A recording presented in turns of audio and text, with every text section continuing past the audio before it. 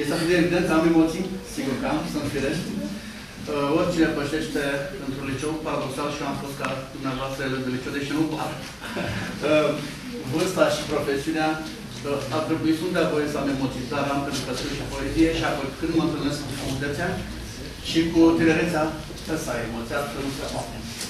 Am o misiune ușoară și grea, să vorbesc despre cartea domnului profesor dr. Marin și despre domnia sa ca personalitate culturală și numai de primul rând, de trai național.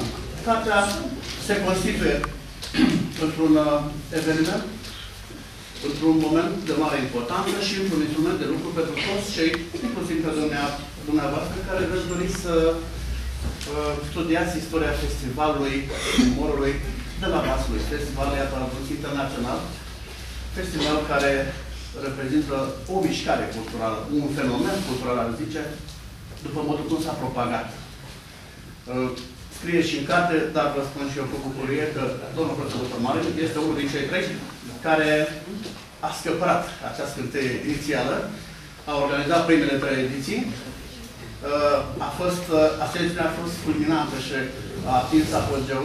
Este în cădere aproape liberă acum și îmi pare rău că asta cu durere în suflet, pentru că eu, ca să mă laud puțin, deși nu fac așa ceva, sunt unul dintre laureații acestui festival. Două ediții în urmă, pentru că dincolo de faptul că sunt ajungut acest ziar, uh, și scriu așa cum a spus domnul profesor. Cartea este, este una completă și complexă și uh, poate mai important este prima, primul volum care tratează istoria uh, acestui fenomen cultural, cum l-am numit mai adinaur. Uh, este cea care duce în fața cititorilor nume. importante, nume mărețe, nume cu rezonanță internațională ale scenei românești, ale umorului românesc, uh, ale acelei bucurii produse prin râs, prin, uh, prin glumă. Despre domnul profesor doctor scrie acolo destul de mult, domnul profesor l-a prezentat. Uh, destul de bine. Ce nu se știe, și aș vrea să vă spun dumneavoastră, să vă captez puțin atenție, este faptul că, așa pe cuvinte îl că stă acolo, uh, este un vulcan. Realmente un vulcan, iar eu am vreo șapte ani de când lucrez cu domnia sa și la ziua și la Radio 7 de uh, l-am văzut izbucnind adesea pe foarte multe planuri. Este rarisim să te poți, să fii la vârf, Uh, în orice domeniu pe care îl abordezi. Adică televiziune, radio, ziar, transmisie în direct, transmisiile la radio, la văzut în foarte multe situații, nu stă o clipă locul. Noaptea se culcă foarte târziu și ușa asta, pentru că lucrez la redacție. Și dimineața este primul care este în redacție. Uh, și pe noi ne, ne molipsește această, această efervescență creatoare Uh, cunosc toate cărțile domnei sale, mai puțin monografia pe care nu știu și vă recomand, dincolo de această carte, romanul Zăpadă pe pod de cereș. O să găsiți elemente care concordă cu vârsta dumneavoastră, cu viața, cu aspirațiile, adică inclusiv iubire și relată foarte frumos, foarte frumos, la limite de morală. Uh, o carte care se citește fără trălutere. Faptul că mie mi-a dat posibilitatea să mă exprim în scris și nu numai, să accent către media și TV și radio, foarte multe emisiuni, 358 de emisiuni radio, la o ceață de cultură. Regret că nu am avut printre invitați și elevi de la Colegiul Național de Buș. În schimb, am avut pe cei din Vaslui. Cunosc preocupările dumneavoastră, cunosc, eu știu, aspirațiile în general. Uh, și în bine, și în sus, și în jos. Uh, leg foarte ușor o conversație cu, cu liceele, permis să spun tot așa.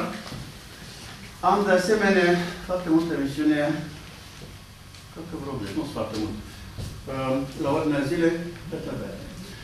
Cei care aveți intenția să dați, să lucrați în media, vă recomand că este un domeniu pe cât de frumos, pe atât de greu, dar satisfacțiile sunt pe măsură. Eu mă bucur că a apărut acest volum, îl recomand tuturor. Îl felicit domnul profesor doctor și îmi doresc ca să scrie încă un uh, volum după ediția 40. Vă mulțumesc!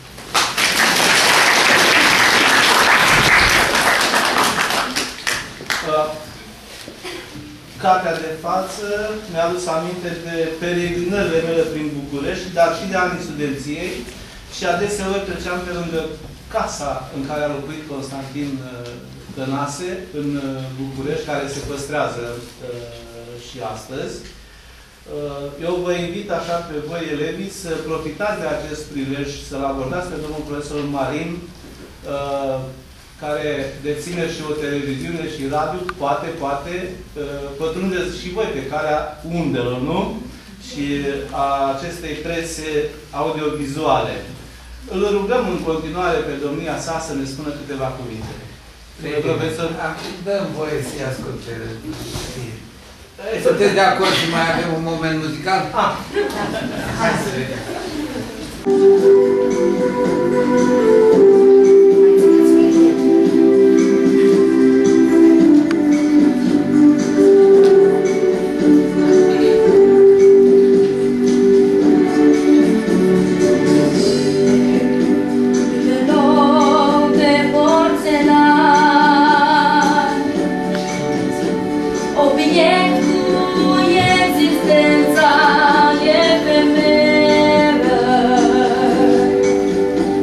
Yeah.